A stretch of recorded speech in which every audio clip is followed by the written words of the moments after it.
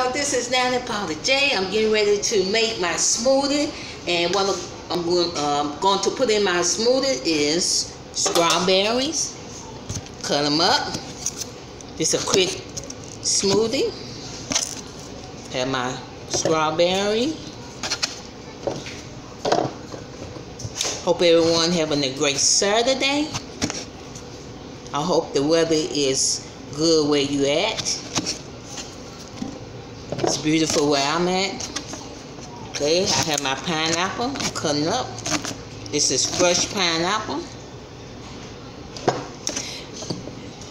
And then I'm gonna put my avocado in there. Okay, this is my avocado. I'm gonna scoop this out. Put it in there.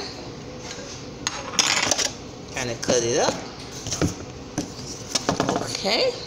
Next, I'm going to put a little something different. This is ginger.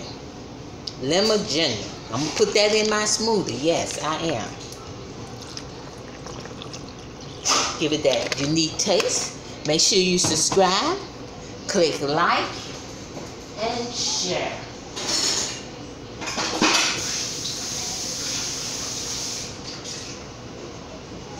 Okay.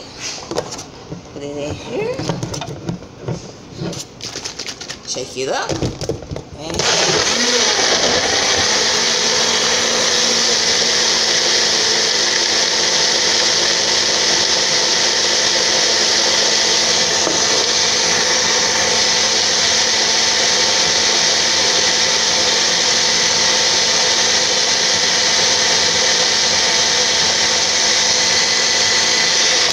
Only take a few minutes to uh, do the smoothie.